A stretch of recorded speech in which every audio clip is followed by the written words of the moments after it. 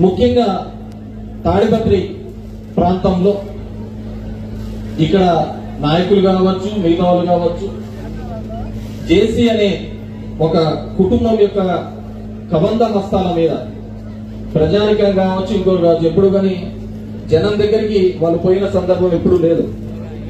జనం దగ్గరికి ఎప్పుడు పోలే. ఎంతున్నా కానీ వాళ్ళ ఇళ్ళకాడికి వీపించుకునేది ఓ చైర్ వేసుకొని కూర్చోంటాడు చుట్టూ నిలబడేది. వాళ్ళు ఏందని చెప్తే అది జీ హుజూర్ అని చెప్పేసుకుంటూ పోయే కాలం. ఆ రోజు నుంచి ఈ రోజు స్వతంత్రంగా మాట్లాడుతున్నాం స్వతంత్రంగా తిరుగుతున్నాం స్వతంత్రంగా పనులు చేసుకునే స్థాయికి తీసుకొని వచ్చినారంటే అది ఒక్క మా చిన్న కేతిరెడ్డి పెద్దారెడ్డి వల్లనే జరిగిందని చెప్పేసి.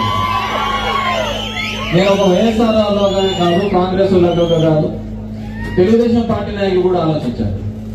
ఎలా ఉండేవి మీ బతుకులు? మా చిన్న తాడిపత్రికి ఎంటర్ అయినాకనే మీకు కాఫీ టీ నీళ్ళు పోస్తున్నారు అందరూ మీకు కాఫీ టీ నీళ్ళు పోసేవాడు కూడా లేదు.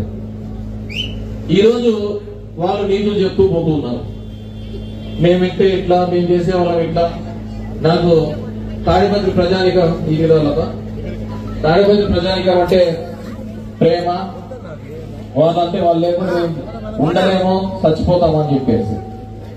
వారి యొక్క ప్రేమ ఏ విధంగా అంటే ఇంత ఇన్నాళ్ళు ఈ ముప్పై సంవత్సరాలు నెత్తిలు పెట్టుకొని చేసినందుకు మీరు చూపించిన ప్రేమే వీళ్ళకి చేసిన లాభమే మీరు చేసేది ఏంటంటే గ్రామ గ్రామాల గొడవలు పెట్టినారు. గ్రామ గ్రామాల్లోనూ కూడా గొడవలు పెట్టడము వాళ్ళని ఇబ్బంది పెట్టడము వాళ్ళను ఏదో విధంగా నీ ఇంటి చుట్టూ తిరగలని అంటే నీ దగ్గర వాళ్ళు నీ దగ్గర నుంచి పోతే మళ్ళీ పోలీసు వాళ్ళతో పంపించేస్తాం. ఈ నాలుగు సంవత్సరాల్లో ఈ నియోజకవర్గంలో ఒక్క ఫ్యాక్షన్ మర్డర్ జరిగిందా అని చెప్పేసి నేను అడుగుతున్నాను ఈ రోజు ప్రతి ఒక్కరు కూడా ప్రతి ఒక్కరు కూడా ఏ విధంగా మన జీవన శైలి పోతుందో ఆలోచించు మొన్న ఏదో ప్రెస్ మీట్ పెట్టి నేను పెద్దవాడు ఊరికి వచ్చినప్పుడు వచ్చిందో మాట్లాడడానికి ఆయన మండిందంట. ఏడో మండి అన్నాడు. వాడని నేను లండన్లో ఉన్నప్పుడు ప్లేట్లు క్లీన్ చేసేవాని అని అంటాడు మరి నీ కొడుకు నాతో పాటు లండన్ ఉన్నాడు. వాడేమన్నా యువరానికి మసాజ్ చేస్తాడు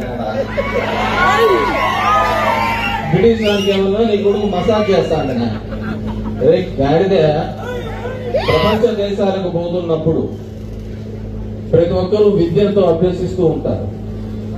విద్యతో పాటు అక్కడ కొంతమంది ప్రొఫెసర్స్గా కొంతమంది ఈ విధంగా చేస్తుంటారు.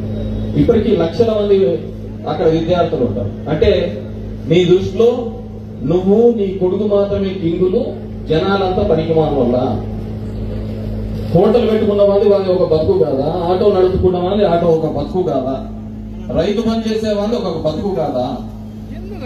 కేవలం నీది నీ కొడుకుది ఫెరారీ కార్లలో పెద్ద పెద్ద కార్లలో తిరిగేది.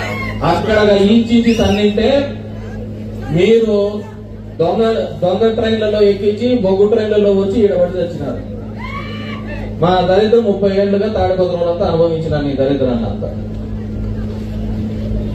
అతనికి ఈ రోజు ఎలక్షన్లు ఉన్నాయి కాబట్టి ఈ రోజు ఈ ప్రజల మీద వీరి మీద ఎక్కడ లేని ముప్పై సంవత్సరాలుగా నువ్వేం కాకుండా ముప్పై సంవత్సరాలుగా వీరికి ఎందుకు నువ్వు అండగా నిలిచలేకపోయినావు? ఈ రోజు తిరుగుతున్నావు కదా సందు సందులు? ఎందుకు ఆ రోజు తిరగలేకపోయినావు? నువ్వు గాని నీ కొడుకు గాని మీరు గాని. మా అందరినీ కాదు సొంత మీ అన్ననే నేను విడిచిపెట్టిపోయినాడే దివాకర్ రెడ్డి. నువ్వు మీ అందరు పట్టకర తర్వాత జనం దగ్గరికి వస్తావు నువ్వు.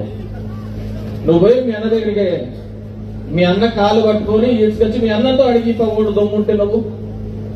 తర్వాత సంగతి. ఎందుకంటే నీ పాపాలు చూసలేక వాతనే వెళ్ళిపోయినాడు. ఇట్లాంటి వాడు పరిమాణంలో ఉన్నాడు. ఒకసారి ఎమ్మెల్యే తెచ్చిన వీడు నాకు ఇంత పోటీ తీసి వచ్చినాడు అంతే. ఈ మధ్యన రెచ్చగొట్టే ప్రకటనలు. చూసుకుందాం చేసుకుందాం. అంటే నేను ఇంత ముందు కూడా ఛాలెంజ్ చేశారా? మా చిన్న తొంభై కిలోమీటర్లు ఉన్నాడు. నువ్వు ఎవరి సాయం లేకుండా ఈ ఊరు నుంచి ఆ ఊరు వరకు నడుచుకుంటా పోరా సాలని ఈ స్టేజ్ కాడ నుంచి ఆడ విగ్రహం ఉంటది? ఆ? గాంధీ. మహాత్మా గాంధీ. అక్కడికి ఎందుకు మధ్యలో ఎన్టీఆర్ ఉంది కదా? ఆ, ఆడి వరకు నువ్వు సొంతంగా నడుచుకుంటా పో. నీకు చేత కాదు. మా సాయిగాడు రాత్రి నిద్రలో చేపట్టుకుని ఇడిపించుకోలేడు